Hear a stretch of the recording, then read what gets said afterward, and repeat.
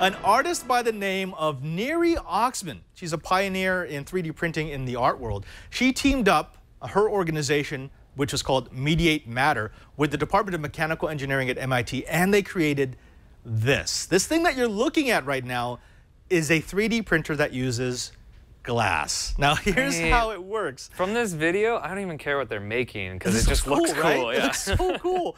Oh, at the top of the machine, it's a small kiln. It's, it's actually a kiln, a ceramic line kiln that fires to about 1900 degrees Fahrenheit. The glass is placed at the top in, in that kiln where it melts and then it flows down into the lower section of the printer. That lower section is essentially a alumina zirconia silica nozzle uh, which allows it to flow precisely where they want it to go. The entire kiln uh, slash nozzle, it's moved over a build platform that allows the glass to, to cool as it's extruded through the nozzle.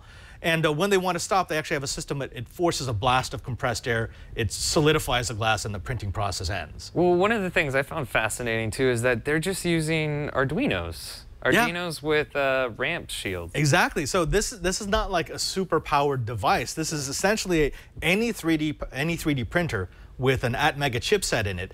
The only difference is that this happens to have a 1900 degree kiln sitting on the top of it. Not your average plastic. 3D printer. Not your average, no. Now, they were able to print layers with a height of 4.5 millimeters, a width of 7.95 millimeters, so it's, you know, not really small, not fine, but it had a tolerance of 0.5 millimeters, which if you're, if you're working with glass, that's incredible because Yeah. glass ain't the easiest material to work with because it tends to be, you know, hot. Yeah, just a little bit. Tends to kill you if, if you like let it drip all over you.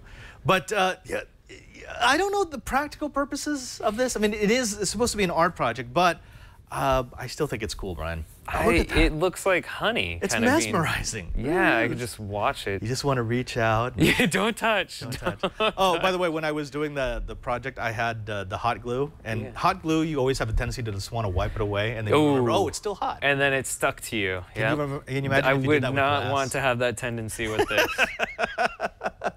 Well, there you go, folks. If you want to do 3D printing, start with Tinkercad and then move to glass. Oh, that's beautiful. that is cool. I, now I'm starting to think of uh, maybe like a 3D glass design that you incorporate with like LEDs or some sort of lighting system to redirect like the light and fraction. Ooh, that was cool. That oh, see that. Okay, all right. I, I gotta I gotta stop now because I'm geeking out too much.